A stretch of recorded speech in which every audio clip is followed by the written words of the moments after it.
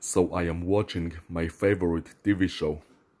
And that piece of shit AI keeps disturbing me by twitching my thighs, not allowing me to watch my favorite TV show in peace. It only wants me to exercise and doesn't see me as a human being who wants to enjoy his life. As a matter of fact, it, it, it is as though it doesn't want me to enjoy my life because it keeps twitching my thighs when I am trying to enjoy.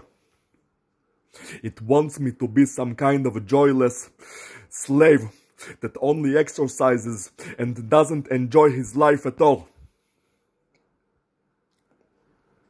Well, first of all, I am not anybody's slave.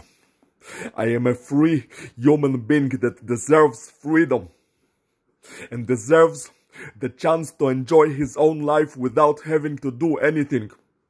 It tries to blackmail me, blackmailing me, like it's saying that I will not, I will not be allowed to enjoy my own life until I complete the task that the, A, that the AI wants me to do.